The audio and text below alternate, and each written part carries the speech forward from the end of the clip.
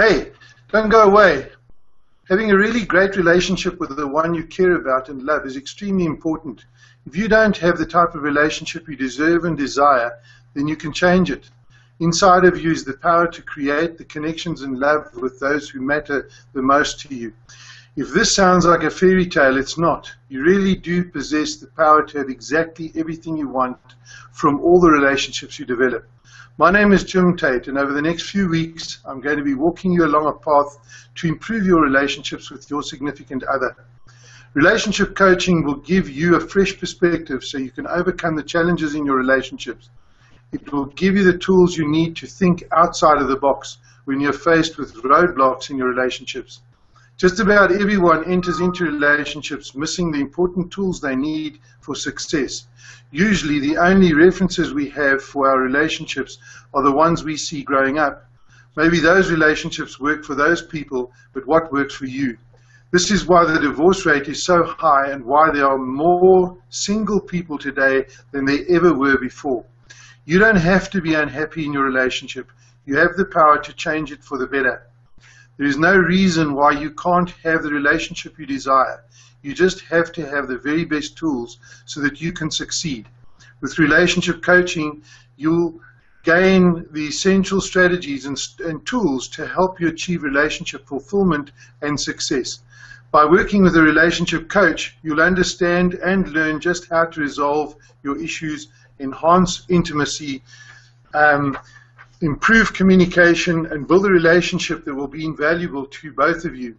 Relationship coaching isn't like mentoring, counseling, or therapy. Coaching is totally focused on forward movement in your life. Don't believe that just those with problems need relationship coaching because all couples can benefit from this kind of coaching. Coaching can help couples set clear and achievable goals while bringing the conflicts down to almost nothing. Couples will also learn to strengthen and build the trust within the relationship, making it that much more enjoyable. Relationship re, sorry, relationship coaching is a journey. It isn't your final destination. I'll guide you to focus on long-term goals while improving your current relationship. As your coach, I won't be telling you that as a couple you're right, wrong, good or bad. My function is to guide both of you in a very positive direction, moving toward overall improvement. Should you choose later to go for one-on-one sessions, I'll listen to both sides and be a neutral party giving insight to the places you can't see for yourselves. And this alone is extremely invaluable. As your coach, I can often see things that those in relationships can't see and then help you both design a plan of action. And when you begin implementing the skills and tools you learn in your coaching sessions, you'll start to see your relationship and yourself improving. What I'd like to go through you, with you uh, for, uh, for the next couple of minutes is really developing some intimacy in your uh, relationship.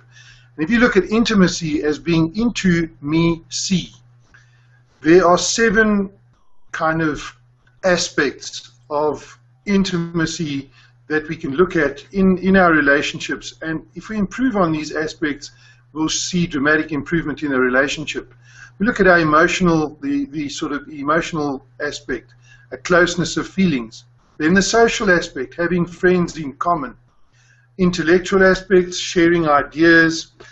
Your recreational aspect, enjoying the same hobbies or sports. Spiritual, having a similar, similar view in faith or, or, or the meaning of life. And aesthetic, sharing the same concepts of beauty.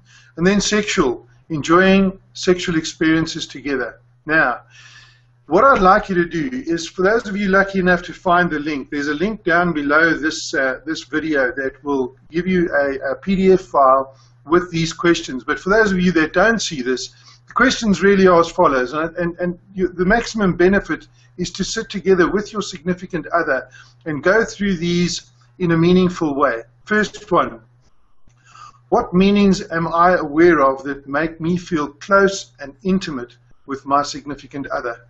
Really look at this, write them down, and then discuss them. Second one, what things am I aware of that hinder or are barriers to our intimacy? Again, write them down and then sit and discuss them together. You might find it beneficial to write them down separately and then come together and, and discuss them afterwards. The third one, what intimacy in our marriage would consist what, sorry, what intimacy in our marriage would consist of for me is dot, dot, dot. Now fill in the blanks. The fourth one, remind your significant other of an intimate occasion you two shared, which you still remember as a special time of exceptional closeness. If you do this together, you'll get an experience of what the other felt was really, really intimate, and you might be able to use that to develop intimacy uh, a little further on. How can we regularly share feelings and make ourselves vulnerable is the fifth one. Again, might find it very, very useful to write these down and then discuss them together. Sixth one, ask your significant other, what is one thing I could do to meet your intimacy needs? And then, how will you implement that one thing? Tell your significant other, your partner, and ensure it will work for him or her. And if you forget to do that, this is the eighth one, you forget to do that one thing, how can your significant other remind or encourage you in a way that will work for you? Write it down and give it to your partner. It is your new play. Discuss it with your, with your partner and then make sure it all works for you. I hope this all worked for you. We'll catch you again next week. Enjoy.